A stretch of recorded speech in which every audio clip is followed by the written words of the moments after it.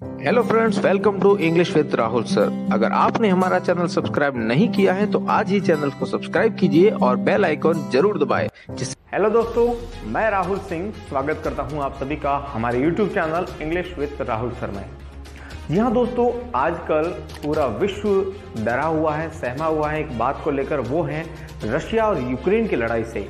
जी हाँ दोस्तों, दुनिया के सारे देशों को लग रहा है कहीं ये तीसरे विश्व युद्ध की आहट तो नहीं क्योंकि रशिया और यूक्रेन की लड़ाई अपने आप में बहुत भयावह स्थिति पैदा कर चुकी है। क्या है इसके पीछे के रीजन क्या है इसके पीछे के कारण आइए जानते हैं।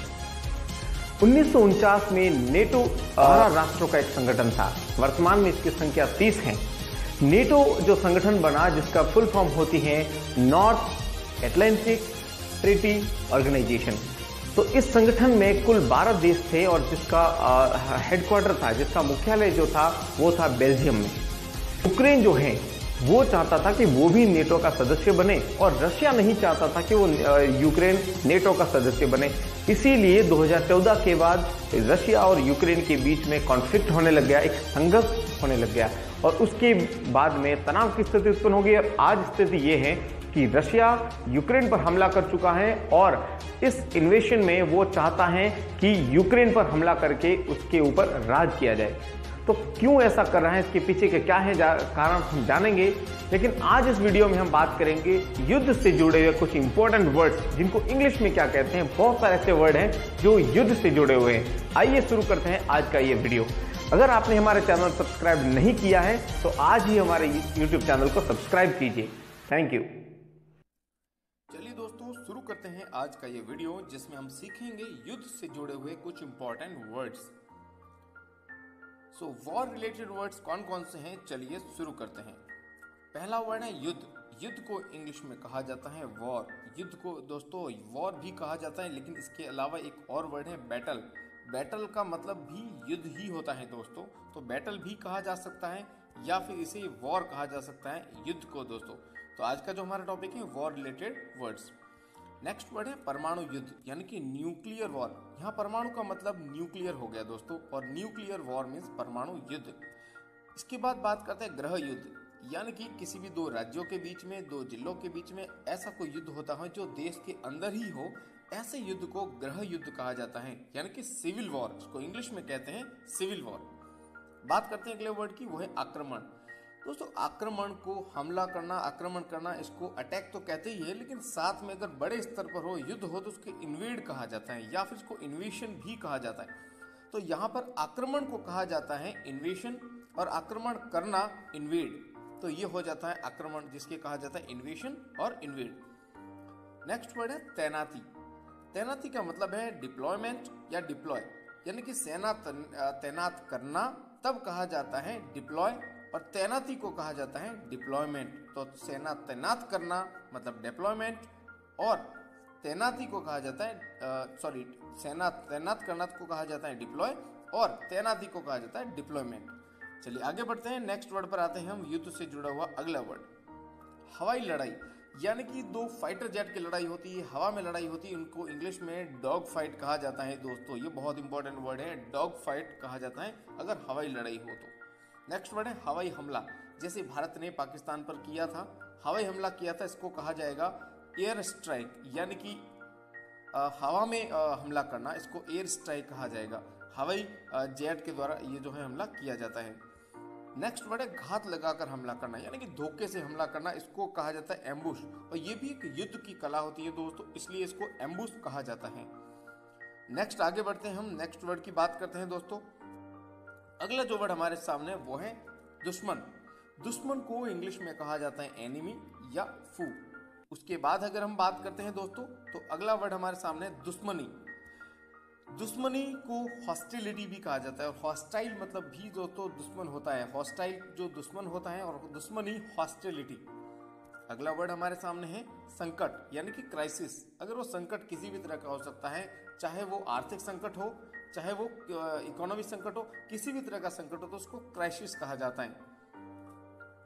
युद्ध विराम, यानी कि सीज फायर अगर दो देशों के बीच में युद्ध हो रहा है और उसको वही बीच में जिस स्तर पर रोका जाता है, उसे कहा जाता है सीज फायर बात करते हैं गोलाबारी की। गोलाबारी को इंग्लिश में कहा जाता है बोम्बार्चमेंट इसको इंग्लिश में कहते हैं दोस्तों बोम्बार्डमेंट बात करते हैं अगले। युद्ध घोषणा। जब भी युद्ध डिक्लेयर किया जाता है, घोषित किया जाता है, इसको इंग्लिश में कहा जाता है डिक्लेयर वॉर क्या कहते हैं दोस्तों? डिक्लेयर वॉर बात करते हैं अगले वर्ड की, वो है बम गिराना. जब भी किसी एक देश के द्वारा, जैसे भी रशिया और यूक्रेन का युद्ध चल रहा है और इस पर बम गिराए जा रहे हैं, उसको कहा जाता है बॉम्ब अगला जो वर्ड हमारे सामने शीत युद्ध. इसे कहा जाता है कोल्ड वॉर दोस्तों. अगला वर्ड हमारे सामने धर्म युद्ध. धर्म युद्ध का मतलब दो जाति, दो धर्मों के बीच में युद्ध किया जाता है, इसे कहा जाता है धर्म युद्ध इसका इंग्लिश में कहते हैं क्रूशेड अगला जो वर्ड हमारे सामने है, वो है कब्जा करना। जब भी हम किसी एक देश, दूसरा बड़ा देश, छोटे देश पर कब्जा कर लेता है, उसको कैप्चर किया जाता है, या फिर किसी एक पहाड़ी को कैप्चर किया जाता है तो उसे भी कैप्चर कहा जाता है, इंग्लिश में, हिंदी में कहते हैं कब्जा करना। अगला वर्ड है निहत्ता करना। अगले वाले जो शत्रु हैं जिस पर हम हमला कर रहे हैं, अगर उसे निहत्ता कर दिया जाए, उसके पास हथियार छीन लिए जाए, या उसके पास हथियार नहीं है तो वह निहत्ता हो गया। और इसे कहा जाता है डिस आर्म क्या कहते हैं दोस्तों? डिस आर्म जी हाँ दोस्तों, आगे बढ़ते हैं ऐसे ही नए वर्ड की तरफ़। अगला वर्ड हमारे सामने है थल सेना आर्मी जो थल सेना वो होती है जो ज़मीन पर रहकर दुश्मन का आमना सामना करती है, दुश्मन से लड़ती है, और उसको इंग्लिश में कहा जाता है आर्मी ऐसे ही अगला वर्ड है वायुसेना जो हवा में लड़ाई करती है, दुश्मन से, हवा से हवा में, जिसको एयरफोर्स कहा जाता है।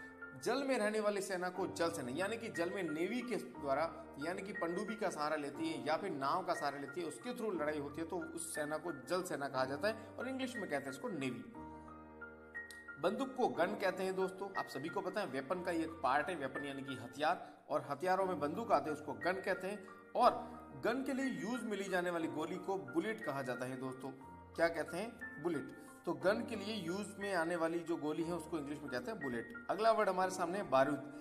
बारूद यानी कि गन पाउडर गन में पाउडर के रूप में जो भरा जाता है, यानी कि एक बहुत ही बारूद होता है, बहुत ही कह सकता है ज्वलनशील होता है, जो जो बहुत ही महत्वपूर्ण कार्य करता है, इसको बारूद कहा जाता है। अगला वर्ड हमारे सामने रहेगा, कारतूस। इसको इंग्लिश में कहते हैं कार्ट्रीज कार्ट्रीज का मतलब होता है कारतूस। कारतूस भी एक वेपन का एक पार्ट है दोस्तों। युद्ध पोत युद्ध पोत का मतलब होता है वॉर शिप युद्ध पोत कह सकते हैं, यानी कि जैसे जलयान जितने भी होते हैं, जो युद्ध के रूप में काम में लिए जाते हैं, जो जहाज़ वगैरह लिए जाते हैं, उसको इंग्लिश में युद्ध पोत कहते हैं और उसको इंग्लिश में वॉरशिप कहते हैं और हिंदी में युद्ध पोत आगे बढ़ते अगला वर्ड है, परमाणु पंडुबी यानी कि न्यूक्लियर सबमरीन यहाँ से एक दोस्तों वर्ड आता है सबमरीन सबमरीन का जो मतलब होता है, वो होता है पंडुबी और अगर वो परमाणु पंडुबी है तो उसे कहा जाएगा न्यूक्लियर पंडुबी क्या कहेंगे दोस्तों? न्यूक्लियर पंडुबी आगे बढ़ते हैं, बात करते हैं लड़ाकू विमान की। तो जो विमान लड़ाई के लिए काम में लिए जाते हैं, इन्हें कहा जाता है फाइट एयरक्राफ्ट या फाइट प्लेन क्या इसको कहते हैं? फाइटर प्लेन आगे बढ़ते हैं, अगला वर्ड है धमाका या विस्फोट, यानी कि एक्सप्लोशन या एक्सप्लोड बहुत बड़े स्तर पर धमाका किया जाता है दोस्तों तो उसे एक्सप्लोशन कहा जाता है या फिर इसको एक्सप्लोड भी कहा जाता है। आगे बढ़ते हैं नेक्स्ट वर्ड की। गोला बारूद को कहा जाता है एम्यूनिशन गोला बारूद जो भी युद्ध में काम में आते हैं, काम में युद्ध में लिए जाते हैं, इनको एम्यूनिशन कहा जाता है। बात करते हैं अगले वर्ड की तो वो है तोप। जो तोप यूज़ में लिया जाता है, उस तोप को इंग्लिश में कहा जाता है कैनन क्या कहते हैं दोस्तों?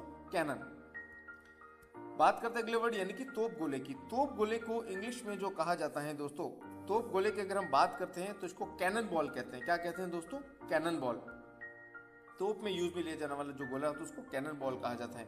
उसके बाद बात करते हैं नेक्स्ट वर्ड तोप खाना, जहाँ पर तोप रखे जाते हैं, तोप के गोले रखे जाते हैं, इसको आर्टिलरी कहा जाता है दोस्तों। क्या कहते हैं? आर्टिलरी बात करते हैं अगले वर्ड की।